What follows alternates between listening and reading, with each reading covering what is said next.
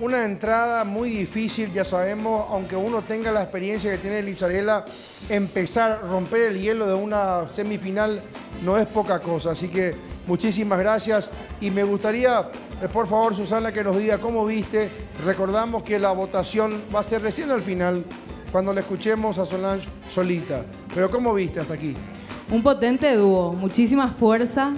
Hay que cuidar un poco los volúmenes para que se, se perciba bien en el oído de- del público a la primera voz.